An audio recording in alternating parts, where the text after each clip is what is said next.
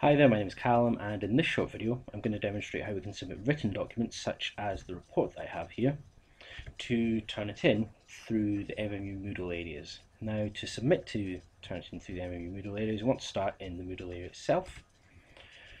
And here I am, it's just this is just a standard Moodle area, um, a training area that we have for the business school. And if I scroll down on the centre column you'll see that we have set up a link called this is a demo assignment and the way that I can tell it's a Turnitin assignment rather than um, perhaps a standard Moodle assignment where you can upload um, documents to is that it has this little red arrow and a bit of paper kind of icon beside it which is the Turnitin icon. Um, you can also access Turnitin assignments under the activities menu on the left hand side where it says Turnitin assignments and you'll see that I've got a link here to this demo assignment. If I click in here, there's also a link to this demo assignment. If there are multiple assignments within the same Moodle area, they'll be listed here rather than spread out through all the different weeks and topics. Um, but I'm going to go back into my training area and go down and enter the assignment this way. And I'll just click in this link. And this link gets me to exactly the same place as the other link that I showed you. So in here we've got some information about our Turnitin assignment. It's this has got a Turnitin assignment name, which is this was the demo assignment. We've then got a summary, which is just the it's just saying it's demo Turnitin. However, your lecturer or your tutor might decide to add a bit more information there about this the submission that you're making here um, within the summary. We've then got assignment part, which there may be multiple parts to this assignment. Um, for this one, we've just got one part, so we've got part one and then the relevant information to it. Any other parts would have relevant information listed below them. We have a start date, which is when the um, assignment becomes available to you on Moodle, so this is when you can start to submit to it. We have a due date, which is the date on which um, your assignment is due to be handed in. And then we have a post date, which is if your lecturer or your tutor decides to mark online, this is the date that the marks will be released and feedback will be released back to you. One thing to notice about these dates is they are down to the minute. Now these ones are set at funny time, 1611, just because it was set up quite quickly.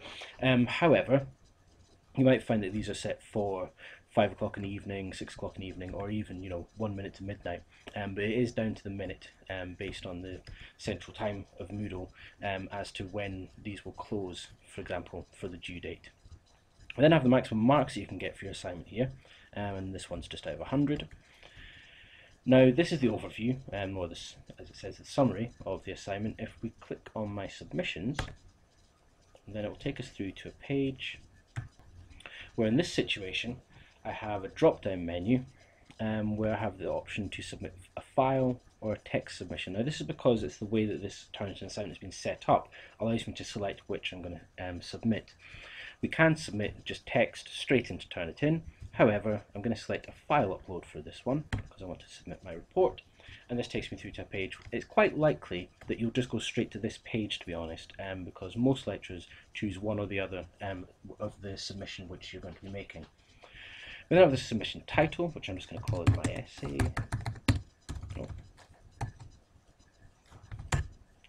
And then you'll see which part it's saying that it is and then file to submit. So the file to submit, I'm just going to browse, go to my desktop and select my report, and then click open.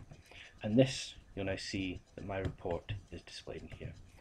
I'm then going to check this box. Now by checking this box, I'm confirming that the work that I'm submitting is my own, and that I accept responsibility for any copyright infringement within the um, regulations of the university.